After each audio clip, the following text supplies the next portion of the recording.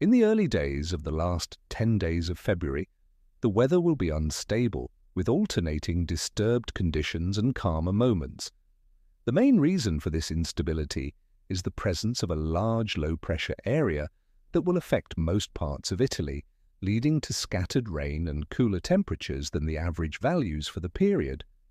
However, as the days go by, this system is expected to lose intensity, helping to bring about an initial improvement starting from Thursday the 20th. Starting from Sunday the 23rd, high pressure is expected to gradually confirm itself, leading to a gradual flow of mild air across the region. This situation will lead to rising temperatures, which will exceed seasonal averages, but there is no need to worry. After all, a little bit of warmth isn't dangerous. Between February 25th and 28th, weather scenarios still seem to be quite contradictory. The European Centre for Medium-Range Weather Forecasts, ECMWF model, suggests the strengthening of high pressure with stable weather conditions, clear skies, and rising temperatures.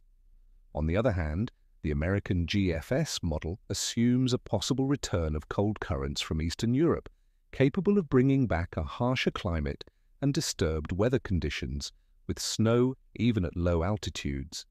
This difference between the main forecast models leaves many possibilities for the final stage of February. So, will it be cold or not?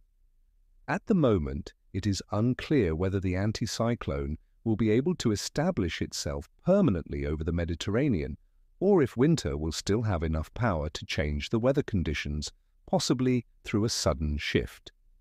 In the coming days, Further weather updates will provide more accurate indications on the direction of the weather in the last part of the month, which promises a dynamic but mild winter.